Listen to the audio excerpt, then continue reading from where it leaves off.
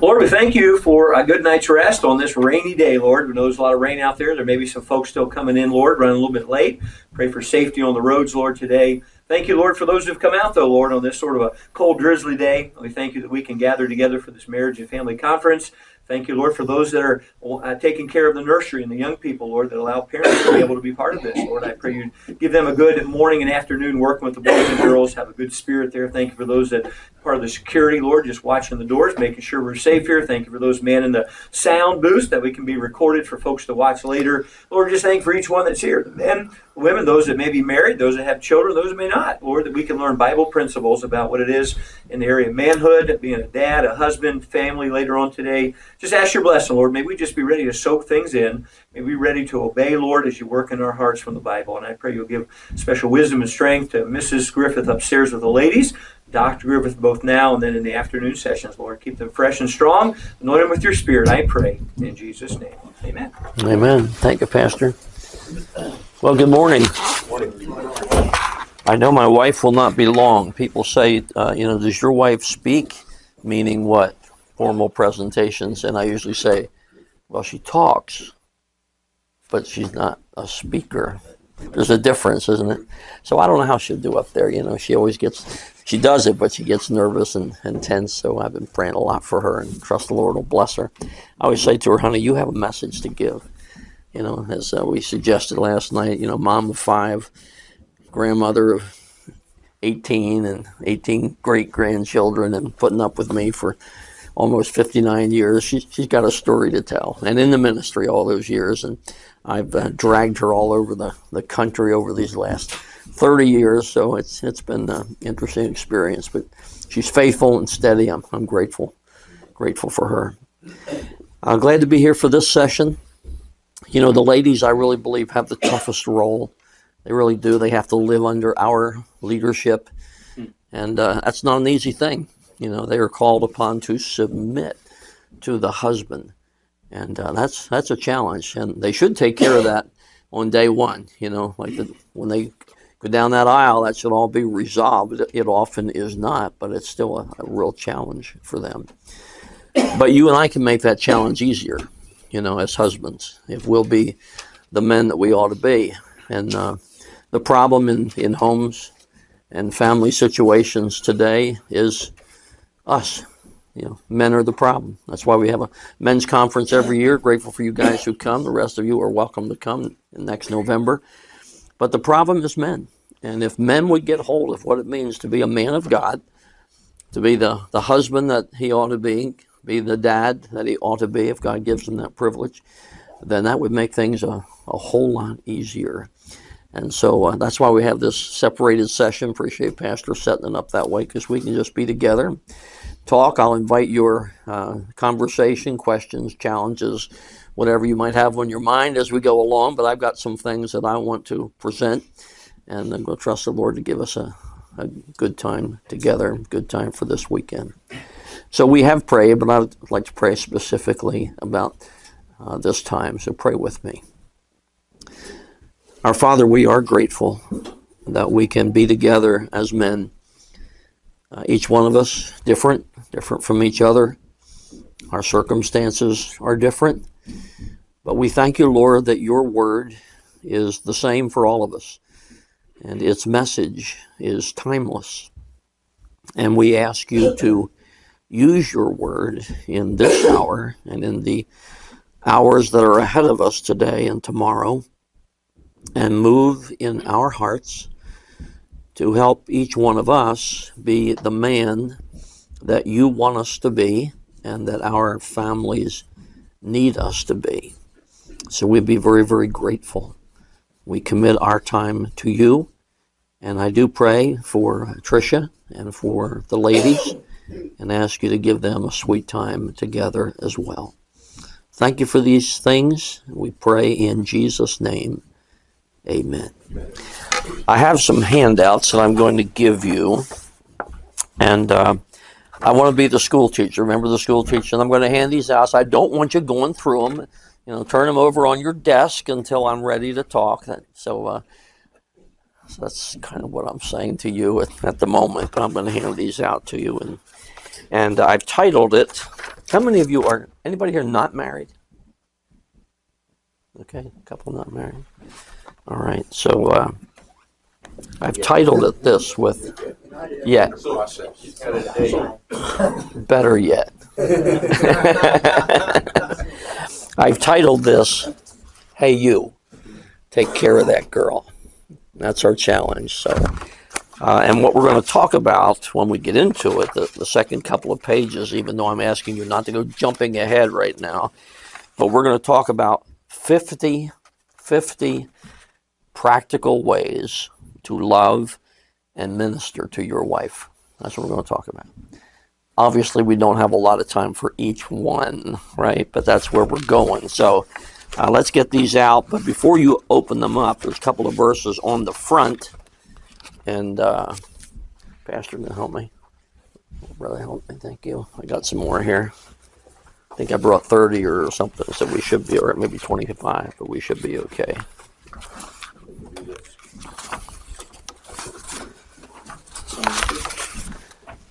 How we doing? Let me send some back here. Double need, brother. I guess. I don't know.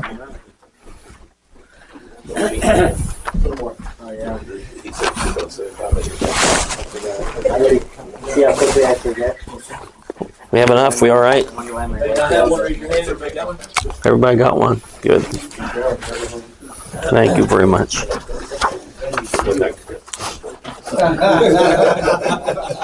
You. All right. Now, even though you have the verse in front, if you have your Bible, I want you to open it. My wife and I were talking. You know, it's it's okay when you know verses are up on screens and presentations and preaching and whatever, but it's good to open the book, right? Open it up and, and look at it. So I want you to go to Colossians chapter 3 and the 10th verse.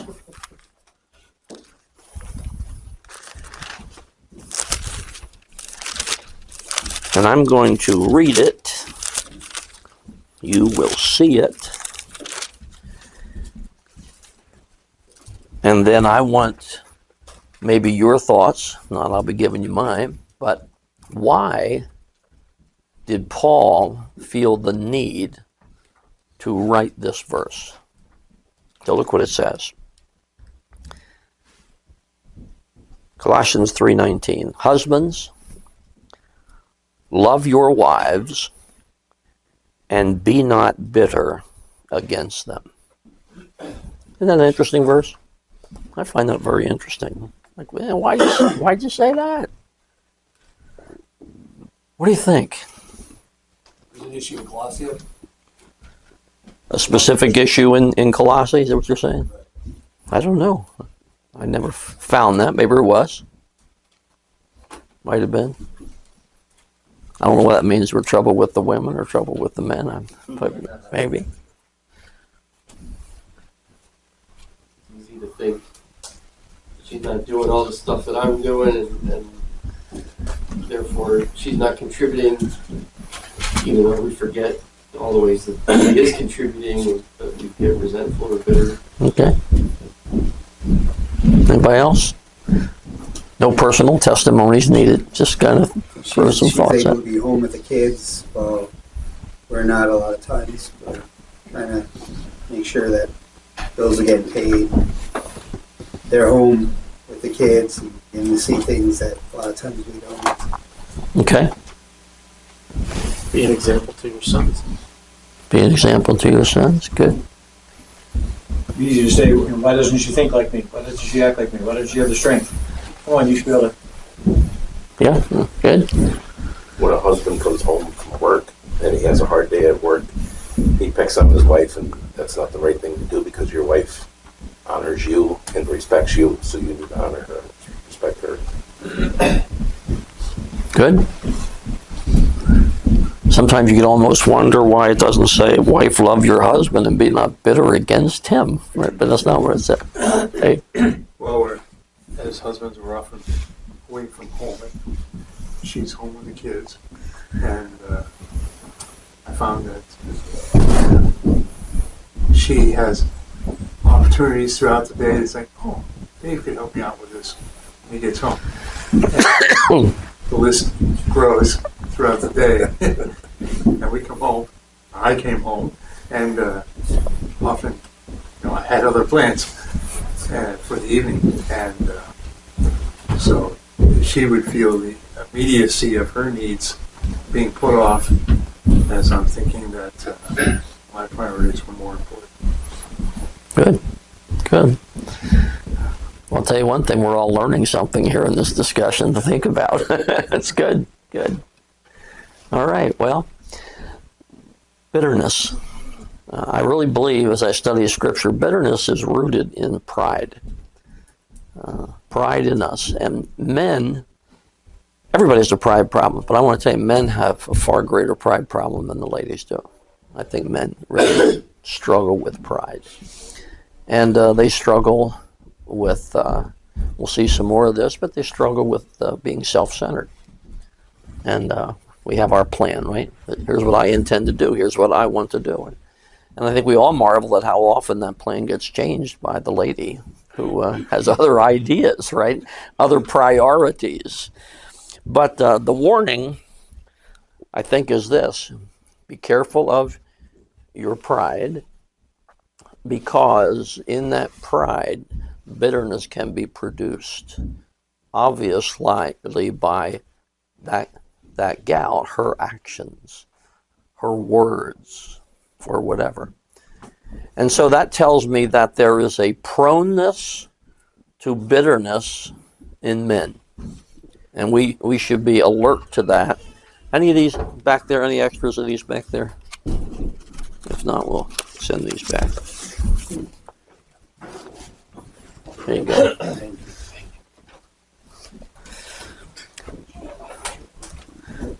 Now, the verse begins with a very positive challenge, and we're going to pick that up again in the Ephesians 5 passage. But the challenge for the man, before he's warned about his bitterness, is to love her, to love your wife.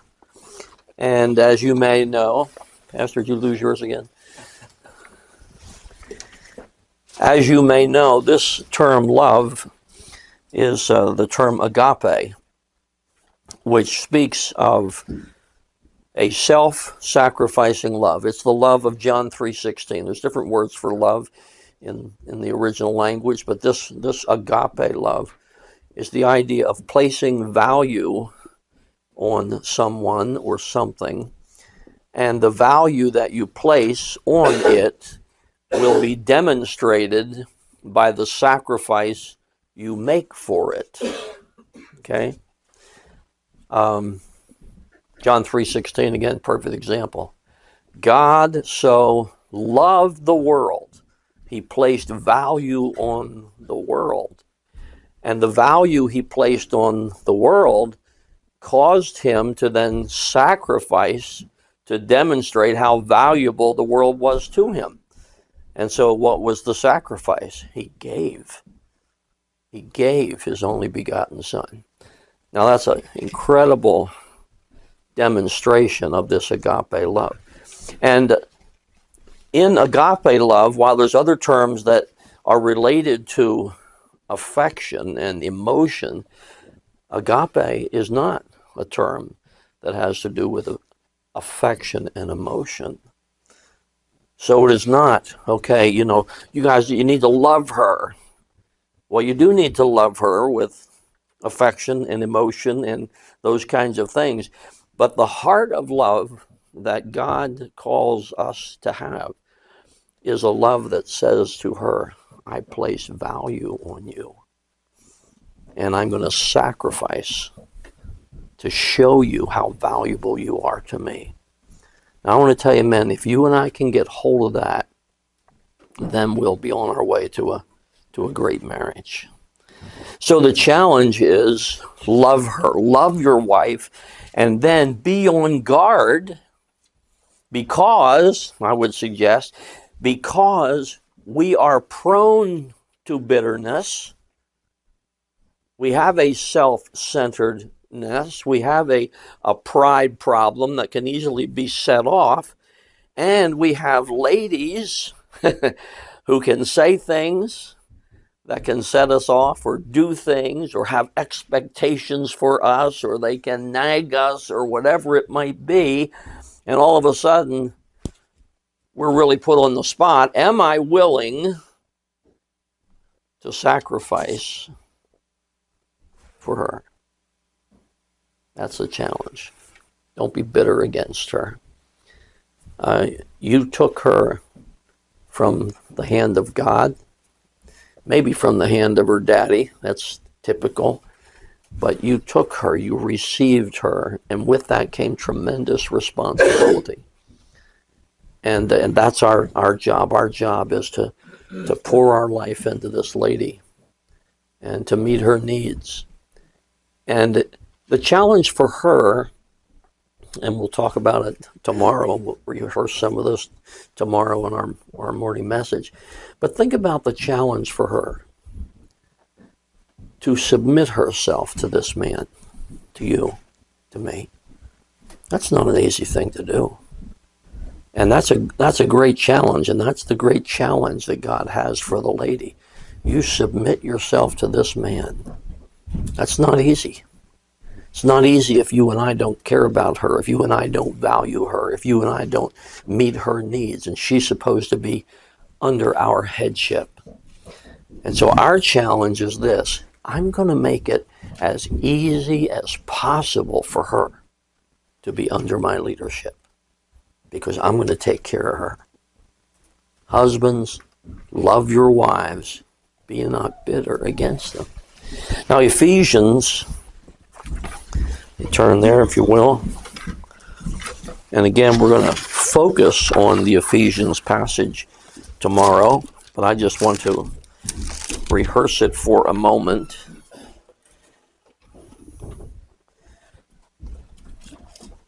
After the woman is told to submit herself to her husband, morning. Thank you. Then comes the challenge to the man. And so in verse 25, same challenge. Husbands, love your wives. And I'm not going to get into the to the depths of this for the moment. Uh, even as Christ also loved the church and gave himself, there's the giving, there's the sacrifice, gave himself for it.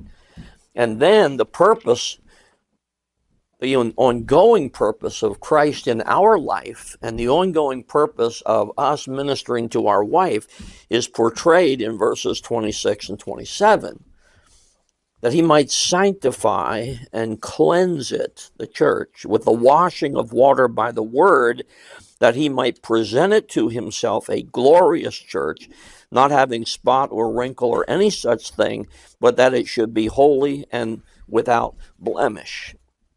And then he goes on and says, So what men to love their wives. In the same way, the man is supposed to love his wife. And so, for the moment, for our purposes just in this session, here's my question to you Is your wife thriving under your leadership? Is she doing well physically? Is she doing well emotionally? Is she doing well spiritually? Is she thriving because you have been ministering to her? And that's what a lot of marriage is. That's what Christ does. He doesn't save us and say, you know, I'm glad you belong to me. Take care. No. Hallelujah. It is an ongoing ministry to us. Well, you and I need to think of ourselves as ministering to our wife. That's what we're supposed to do. We're supposed to be the spiritual head. And I'm going to minister to her. I'm going to help her become everything that she can be for God. I want her to be a great wife. I want her to be a great mom. I want her to be a great lady. And a lot of that responsibility falls on me. How do I treat her? How do I handle her? So, with that in mind, we have a list. so, open up.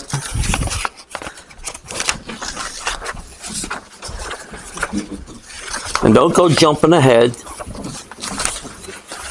can if you want to, but I'm just going to work us through this list. And if you want to talk about it or raise a question or whatever.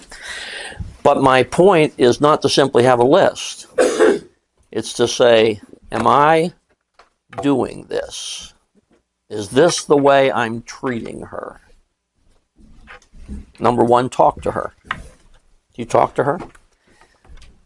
I know Pastor Cremard and Darlene do a lot of ride in the car, right? We do a lot of ride in the car. Well, I want to tell you, I could ride for two hours and never say a word. I could. I'm just whatever, you know. And then my sweet honey will say, "Are are you mad at me?" No. Why? well, you haven't said anything for two hours. I want to say you haven't either, but but I know she wants to, you know. And I would suggest to you that in in my life I have learned this that ladies talk their way through problems. Men think their way through problems. Now, I don't think that's unique to me. I think that's the way we operate. And so an issue comes up. Well, my wife could give you five answers in, in uh, you know, in a half a minute. Well, we could do this. Why don't we do that? Have you thought about this? Maybe we should try this. Stop.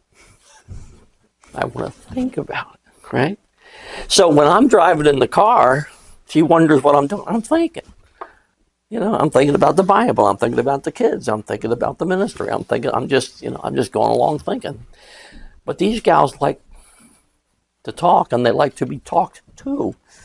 And so I try to remember that. And sometimes I come up with the stupidest things to talk about, but I think I got to find something to talk about, you know, so whatever. Talk to her. Ladies are talkers. Now, every once in a while, every once in a while, might, might be you. Every once in a while, I'll have a man come and say, "Well, you know, my wife and I are just the opposite. You know, she's the thinker and I'm the talker." I'm not sure what to say about that, but anyway, that's sometimes that's the way it is. But I would challenge you: talk to her, talk to her, open up conversation, ask her how she's doing, how her day went, what. Talk to her. Number two we make it into this tomorrow. Seek to understand her needs, her problems, her burdens, and her fears. No need to tell you men and women are different. We are not the same. They operate on one level, we operate on a totally different level. And they have needs and problems and burdens and fears that you and I might not even think about. But one of the challenges that comes out of 1 Peter 3, and again, I'm not sure of our timing tomorrow, but we may get there. But Peter tells the husband, dwell with her according to knowledge, understanding. You need to understand your wife. That's not an easy thing. They do change. I've always noted, though, this God never tells the woman to dwell with the man according to knowledge. And I hate to say it, but they have us figured out. You know, I don't have her figured out. But unfortunately, she has me figured out. You know, she knows, she knows what's going on. And it's going to be very frustrating. but it's not easy for us to figure them out tell a story sometimes, uh, you know, like trying to understand what is important to them and, and so on. I love to think about it. But, uh, and this may seem to fit or not fit, but it fits for me. One day we we left the house, and, and women are what I call hinters. They, they often won't tell you exactly what they want or what they think, but they whatever you know. So we left the house. We were going to meetings, and we were driving quite a way. And she had this little bag of M and M's at home. And we get in the car and we're driving about 15 minutes, and she said, "I forgot those M&Ms. I wanted to bring them, and we could nibble on them while we travel, you know." So I go, boing. She wants M&Ms. That's it. I got it. So we're driving along, and all of a sudden I saw this little shopping center. Got off the road, pulled over, pulled up at the store. She said, "What are you doing?" I said, "I'll be right back." So I got out, went in, came back with some M&Ms, right? So I got in the car. I said, "Look," she said, What'd you get them for? I said, well, I you said we, you forgot the M and M's, and I thought you know you were kind of like you'd like to have M and M's. I don't want those M and M's. You don't? No, I don't want those M and M's. Okay, I'm going to eat them. Women are hinters. They just kind of throw it out. Sometimes you get it, sometimes you don't. I've been trying for almost 59 years to pick up the hint. Sometimes I'll say, Is that a hint? You trying to tell me something? Seek, make the effort to understand her, her needs, her problems, her burdens, her fears. Sometimes they fear things that you and I don't fear, but they get that underlying concern, you know, what's going to happen. I need to know that. If I'm going to minister to her, I need to understand her. Number three, ask ask for her opinion. You might say, I don't have to ask for her opinion. ask for her opinion and place real value on her point of view. Again, we think differently. Men and women don't think the same way. And you and I need to realize okay, I'm the leader and I could just push ahead and do what I say we're going to do, but I need to ask her for her opinion. You know why? Because God gave her to me as a helper. And God gave it because He said it wasn't good for the man to be alone. So He created a helper. Well, the wise man will receive the help. That's why God gave her to you. She does have a different point of view. She's in one place, she sees things totally differently than I see things. And I might think, and I'm pretty sure, by the way, that I always see them right. Don't you? Sure. I can't either. There was one time I thought I was wrong, I wasn't. That was the only time I can. but she sees things differently. And I need to take that into consideration. And so I need to ask for her opinion. Honey, what do you think? How do you feel? What would be good? Open up. Means a lot. That means a lot to her. And then place real value on her point of view because whatever decision you make, she has to live with it too. Put her first over all other persons. She's first. And don't be afraid to make her first.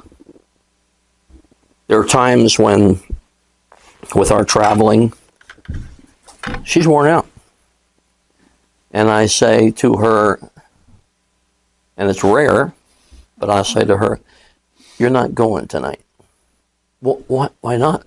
Because you are tired and you're not going. What will people say? I said, When they ask me, I'm going to tell them, I told her to stay home.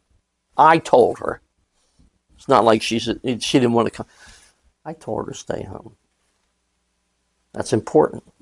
She needs that kind of care and protection and so I'm going to put her first, and I want to say it kindly, but I don't care what anybody else thinks.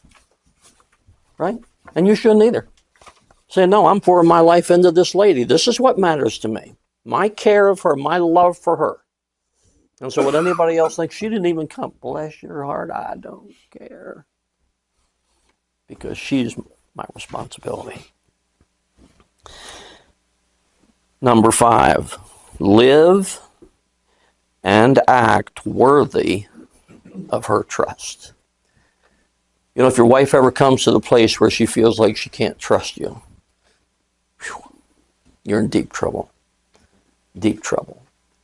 And so we go out of our way to make sure she knows where we are, what we're doing, what time we left, what time we're coming home, if something happened, who we talked to, Computer, darling, you can look at that thing anytime you want.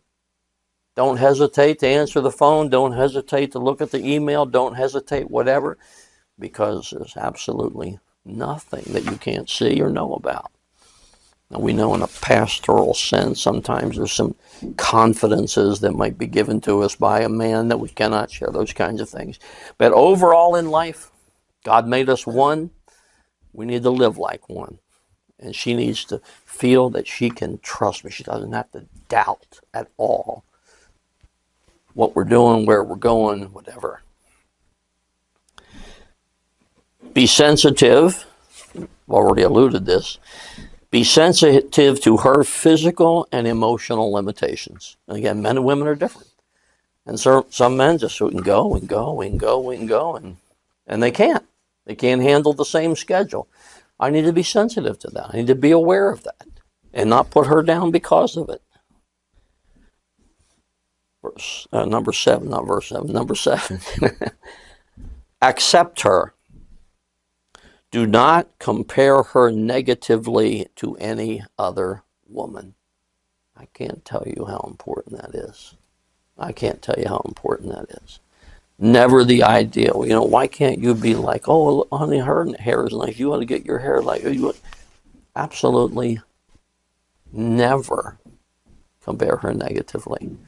And certainly not to your mother. That could cost you everything. but men do that. You know what my mom used to do? Honey, I don't care what your mom used to do. She probably wouldn't say that, but that's how she feels. And you and I need to feel that way too. Even if your mom was the greatest cook, the greatest housekeeper, the greatest whatever it is, never ever compare your wife negatively to another woman. Pray for her and with her. Do you pray for her? Think about it. Do you pray for her? And then one that is even tougher, I find many times, do you pray with her? I'm amazed at how many men don't pray with their wife. And if you don't, you need to. And there can hardly be a more precious time when the two of you pray together. And I'll often say to her, most of the time, I'll say, honey, you want to pray first? She said, no, I just want you to pray. And that's fine. But that is special. That's a spiritual fellowship before God. And there's little that is more important than that. Now that's a tough one because I find sometimes men they feel embarrassed. I, I don't know what's what the struggle is. But if that's one that you don't do, I'm going to encourage you to do that. Steve. Maybe start with the meals. If you don't do it, pray together with the meals. Put your hand out, touch hers, pray with the meals. Amen. And work from there. Amen. Yep. And it's a good thing to just hold that hand, isn't it? You know, that's very, very special. Yep. So do that. And again, I want you to just think about that. That can be a, a tough one to get started if you've never done it.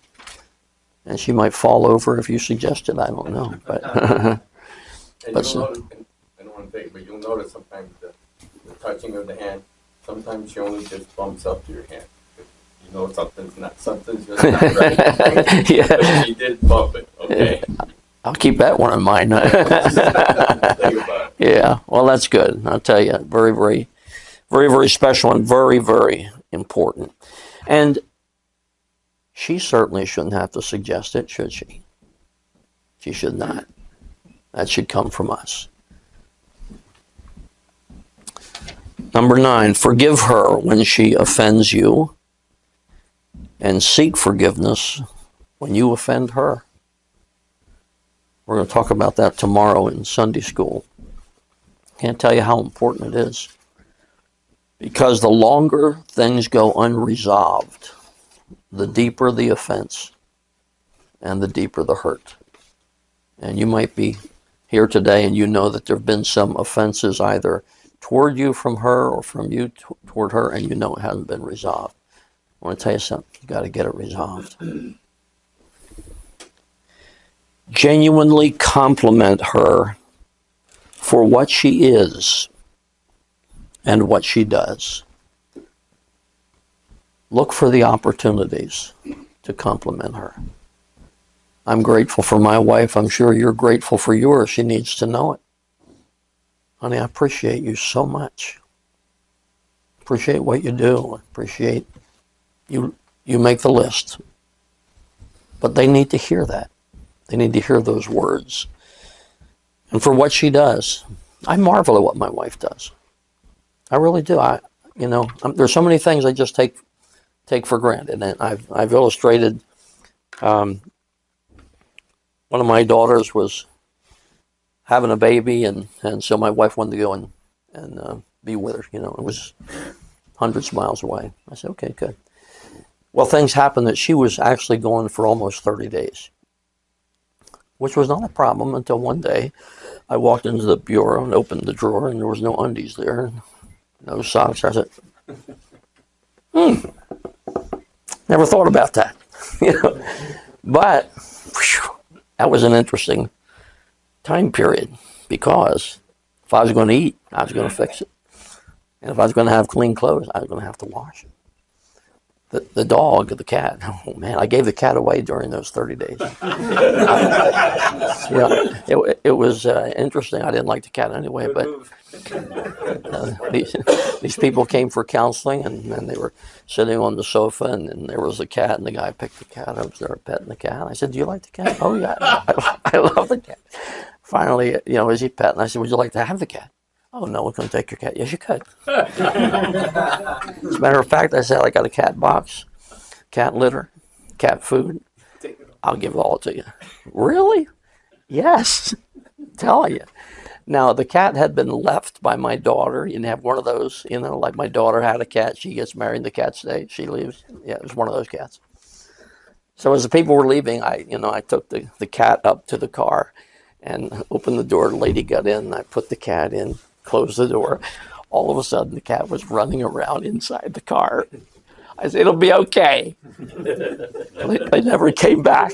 Never came back for more counseling. I assume I handled all the problems.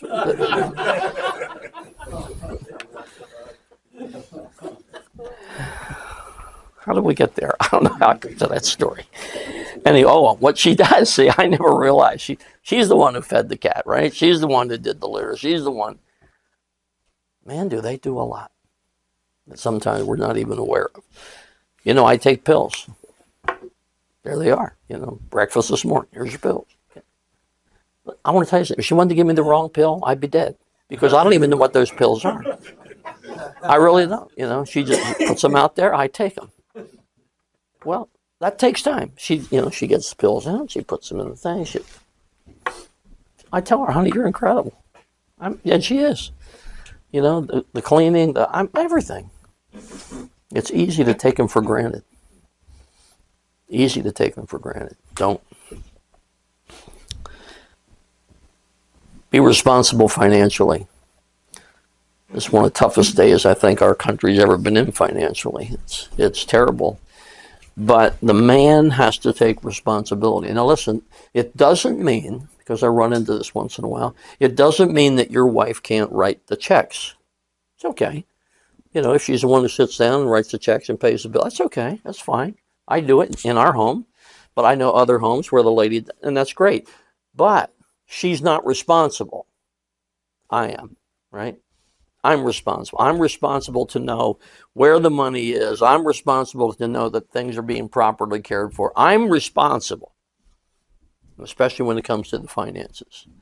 And so if you're not responsible, take that responsibility and handle it. Why? Because pressure comes with financial things. And she shouldn't have to bear the pressure. We bear the pressure. She can write those checks. We bear the pressure. I also, I link that to number five. I Do an arrow between five and eleven. Amen. That's good. Yep. Yeah, worthy of trust. We better do it right. Do it right. Yeah.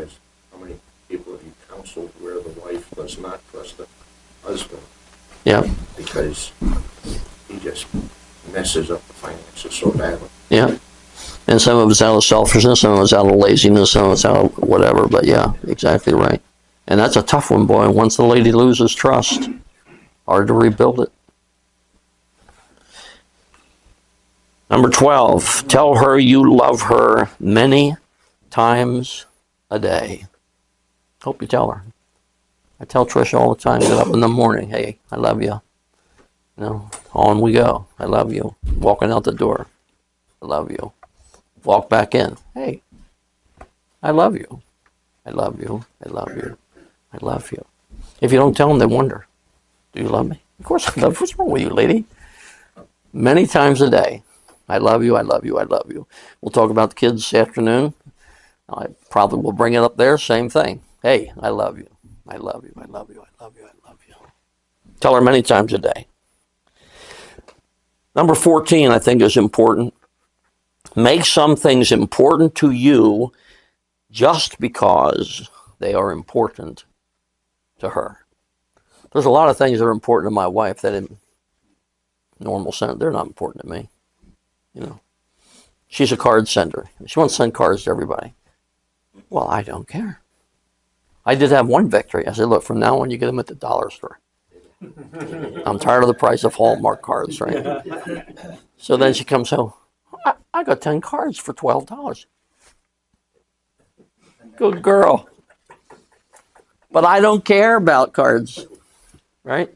Maybe you do. I don't. But you know what? They become important to me. Did you get the card? Why? Because it's important to her.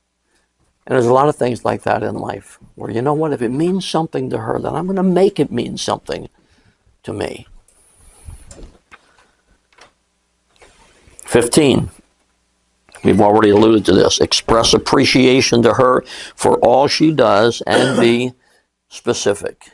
Thank you, thank you, thank you, thank you, thank you. You cannot go wrong expressing your thank yous and appreciation to her. 16. Remember, ladies like notes, cards, jewelry, flowers, candy. Surprise her. Now, make sure you find out what she does like and what she really doesn't care about. Now, like my wife doesn't care about flowers, but she loves jewelry. She loves jewelry. And so if I bought her flowers, that would be foolish. If I buy her jewelry, that means something to her. And again, cards. Cards, again, cards don't mean anything to me like, uh, you know, Valentine's Day. If she gives me a Valentine's Day card, which she does, and I give her one, but when she gives it to me, I want to look on the back and see what she did pay for it. You know. Okay. You know. There's an easy way around that. My wife and I came up with. Don't tell me you go to the store and read the card together. Nope. Oh, good. Okay, go ahead. What? Oh, I, we do that. Go into the store, pick out a nice card, take a picture of it with my phone. Okay. Take a picture of the inside, send them both to her. Put the card back, and she got the card. see? when you are cheap like us, we, we find a way. She does the same thing to you. I love it. Stand in the store and read them. Yeah, that's what I've heard of people that go to the store, pick out a card, read it to each other, put the card back, and leave. No, we read them all. You read them. oh my gracious. Well, find out what your lady likes, and uh, and do it for her, or get it for her, whatever. Preacher, I found out, we, we can't do this now because she's not working. But for the twenty-seven years that she did work, for no reason at all, I would send her flowers at work. And then she would get all of this, like, why, why is he doing this for you? Why you? And she would be able then to communicate because we love each other. Just because he, yeah, isn't that wonderful? Yeah. That's great. That's great for her. Great for her, It's great for them. absolutely. Yeah, yeah. Praise the Lord. Opportunities to witness. Yeah, yeah. Amen. Amen. I love it. 17. Be the spiritual leader in your home. Are you? I hope you are. That means you're the one who initiates the prayer time. You're the one who initiates sharing scripture together. You're the one who initiates. You're the one who says, We're going to church. Sunday school, Sunday morning, Sunday night, Wednesday night. That's what we do. Now, I often illustrate this. If a wife sitting around the table with everybody made this statement, from now on, we're going to go to all the services. The average man might say, Look, honey, you want to do that? Go ahead. You want to take the kids, but don't try to tell me that I'm going to all the services. But if a man sits at that table and says, From now on, we are going when the doors are open, the family will rally to it and your wife will love you for it. But we're the problem. We're the problem. Now, I got some, you know, guys, when I talk about these things, you get men who, I don't think you have to go to every service. I say, Well, I do. I do.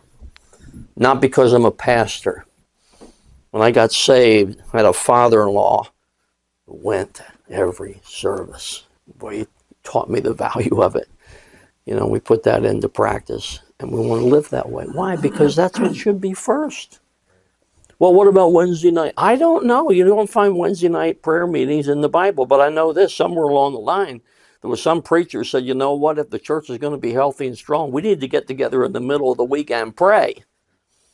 And I want to tell you this, as I've said to our own church family, if people aren't coming together to pray now, when are we ever going to? Because we're in deep, deep trouble.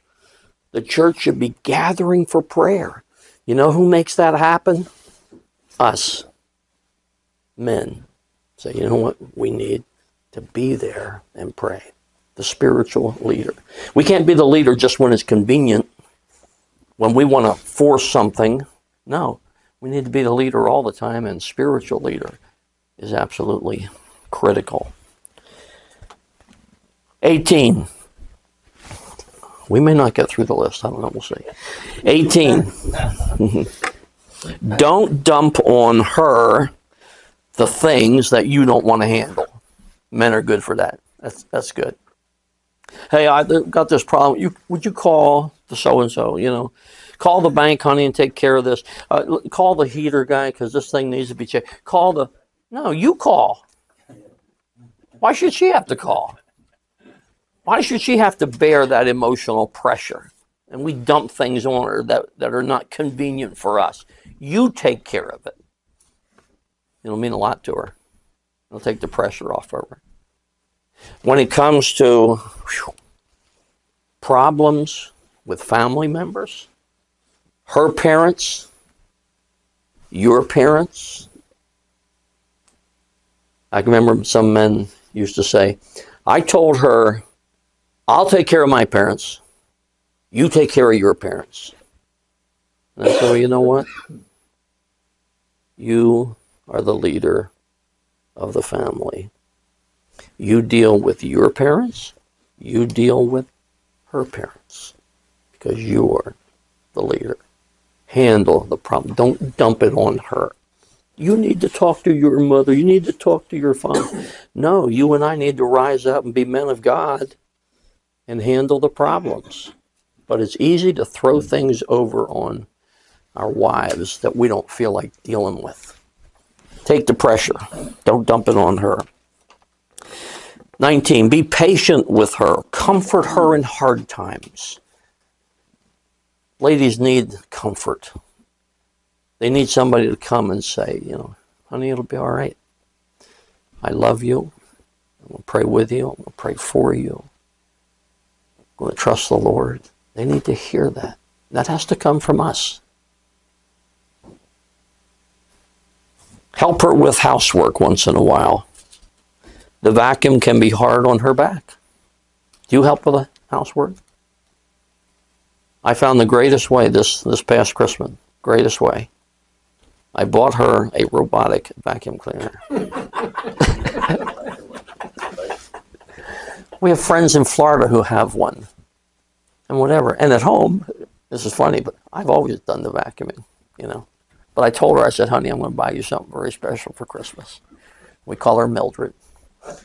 and do you have any of you have one? Yeah. They're great, you know. Ten o'clock. My, my wife does three days a week. Ten o'clock, Monday, Wednesday, Friday. I said, honey, we never vacuum three days a week before in our life. She said that's the way I like it. So ten o'clock, all of a sudden you hear boop boop, and out she comes. She's all over the house. Our basement is finished, so our two daughters bought us Bentley for downstairs. So Bentley operates downstairs, Mildred operates upstairs. They vacuum the house.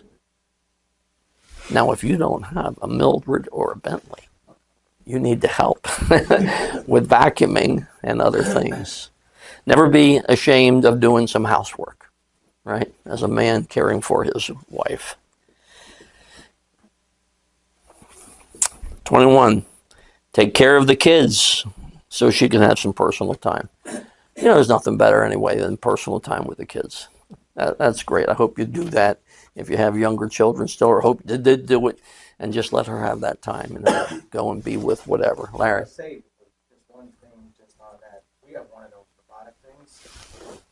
We run it my wife's upstairs, I'm downstairs. We the living room and the kitchen room. Why ain't this thing picking anything up? So she hears me say that to myself. She yells down, You gotta empty it every now and then. I went, I knew that. But I didn't. I was like, what? I, I it was broke. now I don't know my ours being new. I don't know if it's different than yours, but Mildred empties herself, right? Usually three times during the the thing. She goes back to her dock, and you hear she's empty. Now eventually you have to empty the dock, but she was back there. I mean, this girl's good. She, she's something. Yeah, and she has been paid for, so she doesn't get paid every week. She's so. Anyway, uh, where are we? 22.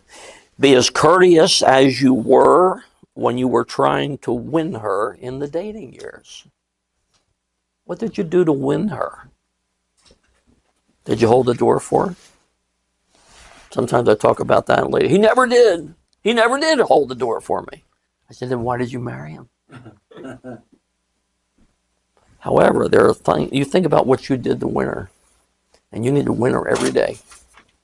The way you talk to her, holding that door, whatever it might be, as courteous as you can be every single day. Win her, win her, win her, win her. when my uh, daughter was dating her now, her husband now, um, I always told her, you need to hold the door open for her. You need to hold the door. So now that I'm dating and I have a fiance, we were getting into the car the one day, and there he stood at his car watching. And I went around, opened the door for her. He says, "You're lucky you did that." yeah. Amen.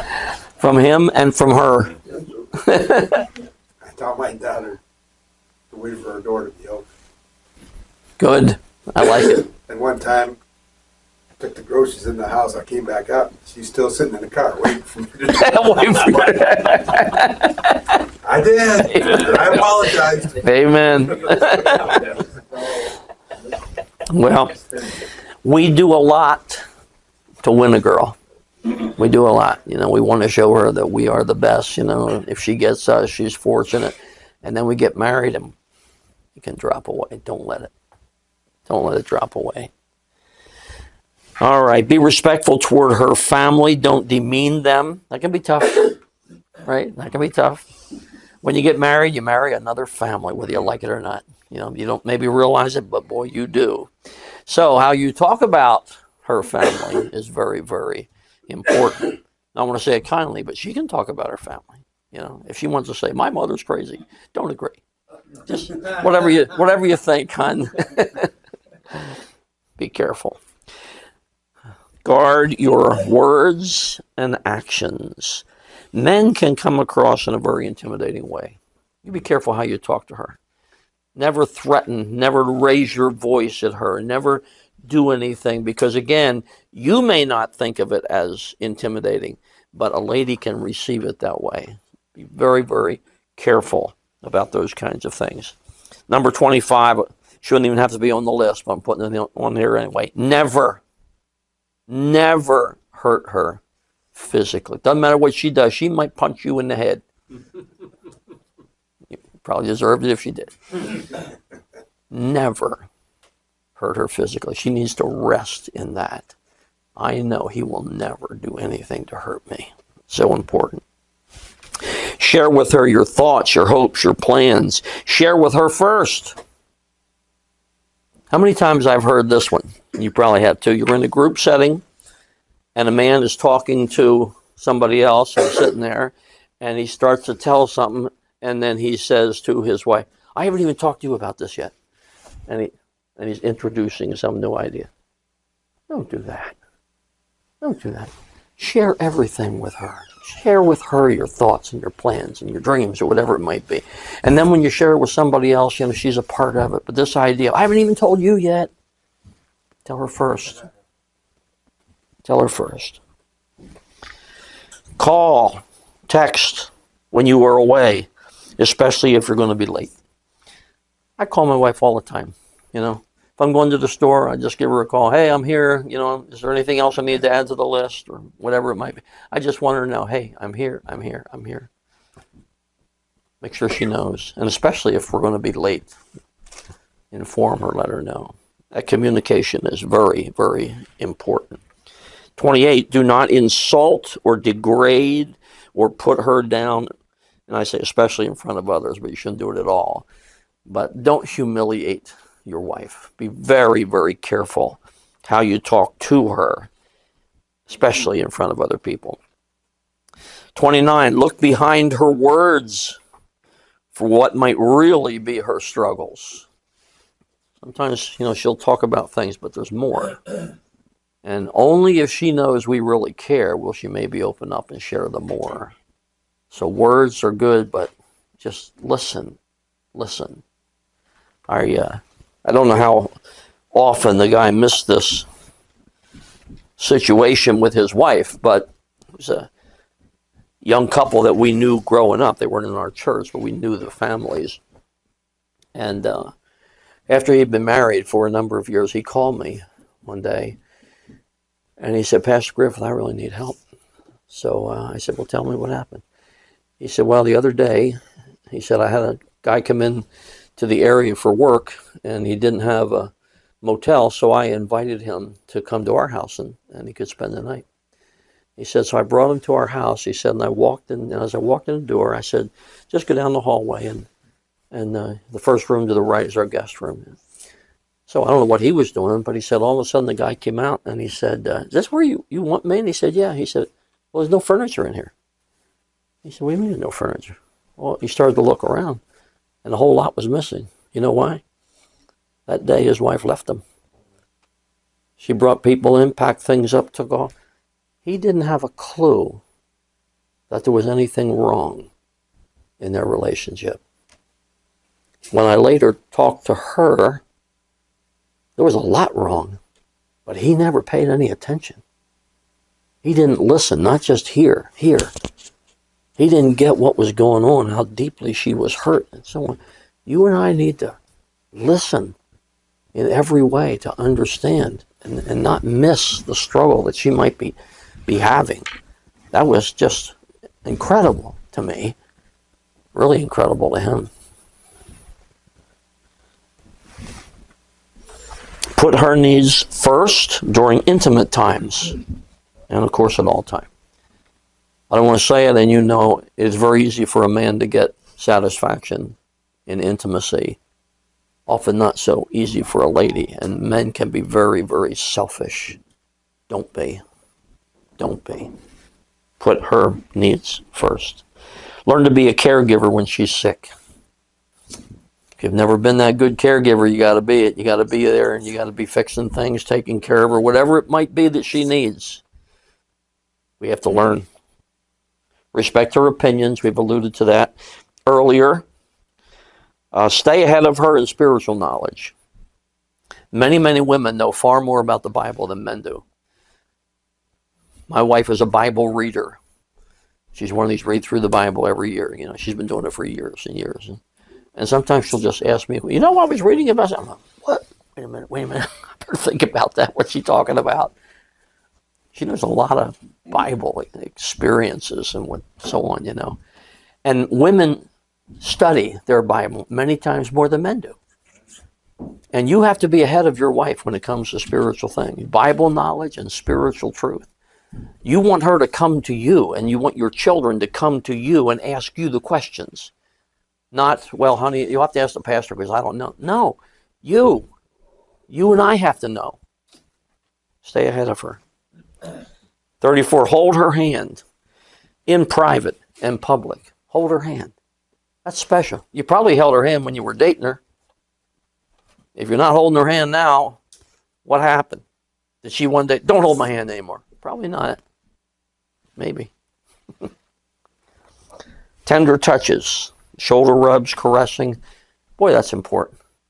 You know, you walk by her sometimes just a just a touch. Hey, girl, I love you. You know, just tender touches, tender times. Plan special times to be with her alone. I'm moving quickly because our time is about going there. Plan special times to be with her alone. Get somebody to watch the kids if you got kids at home. But honey, it's just going to be you and me. We're going to go, whether it be for dinner or away for a couple days or whatever it might be. Uh, if you walk into a room of people, go to her first. Just think about that one. You know, you walk in and here's 15 people. She's way over there, and here's all these people. You don't want to be unkind, but you head for her. You just walk by, somebody might try to get them out right with you. You head right for her. You greet her, you hug her, you kiss her, whatever it is. Then you turn and talk to everybody else. But you just put on that display. That lady's first in my life. I'm going to go to see to her. Uh, do not let your parents come between you and her. Therefore shall a man leave his father and mother and cleave unto his wife. Doesn't mean you don't like your parents anymore, but it does mean this you don't have the same obligations to them anymore. Honor them, but you're not obligated to them. You're obligated to her. And if they ever get in the way, you have to stand by her. That can be a challenge, but that's the way it is. More we could say about that. Defend her if she comes under attack of any kind. Nobody's going to attack her. You're going to defend her. Very quickly moving moving on. Number 40, fully discuss matters before making life-changing decisions. Aim for peace together. It's always been Trisha's and my goal. We want peace together about a big decision, not where I say, this is what we're doing, honey. No, we don't want that. We want peace where we feel God is, is leading us together. Treat her gender, uh, gently and tenderly at all times. Be willing to learn from her. There are things you and I can learn from her if we'll listen. Lead her and your children into faithful worship at church. We talked about that a little bit. Seek to be prepared to answer spiritual questions your family may have. We alluded to that. Never give her a reason to doubt your loyalty to her. She's first. Let it be known to her and to everybody else. Tell others how wonderful she is. Magnify her best points. It's easy to do. I love to do it. You should do it. You know, just let other people know. I'll tell you something. This lady's amazing. I love her. She's wonderful. So on. Deal with habits or sins in your life that are most hurtful and annoying to her. Sometimes we will accept sin and laziness or whatever it might be in our life, and it's a struggle for her. And you and I need to identify those things and say, I'm going to deal with them 48. Never respond to her or the children in anger. Never. You don't have to raise your voice. You don't have to yell. You don't have to do that. Be very careful. Give her liberty to spend money on things that she might need or want. That can be tough if you're not doing so well financially, but if that's possible, you want to do it, honey. This is just just go do whatever you want. Go buy whatever you want. I don't care. Just money in her hands and then sacrifice yourself for her, but but don't let her become the leader. And there's a balance, and we'll touch on that tomorrow. There's a, a balance between the husband sacrificing himself without sacrificing his role of leader. And we got to find that that balance. So our time is gone. Any questions, any comments, any any anything? Be glad to hear from you. But you know what? The bottom line is I want to be a great husband. And I hope you do too. That should be one of the highest goals that you and I can have. I want her to trust me and know that she's first in my life. Something I'd like to add. A thought that came to mind is if one of the kids, my wife, comes to you with a spiritual question and you don't know, find out. Amen. Don't send them to the pastor. You go to the pastor. Amen. Find out, bring the answer. Exactly right. Absolutely. That's so important. Say, I don't know, but I'll be back. I'm going to find out. And then find out. And then come back and answer the question. Yeah, that's great. Really important. Okay, let's pray. Father, thank you for our time together this morning. And Father, I pray for us. Again, every man here is in a different situation from the other. But where we are in life is a place where we need your guidance and your blessing. Uh, some of us have more difficult situations to deal with for a variety of reasons. But I pray that we might be, each of us, in your sight and in the sight of others, a man of God. Father, we want to be that. Help us. Well, thank you. Uh, please bless us as we move on toward our lunchtime and fellowship and then the afternoon sessions. We'd be very grateful. We pray in Jesus' name. Amen. Thank you, man.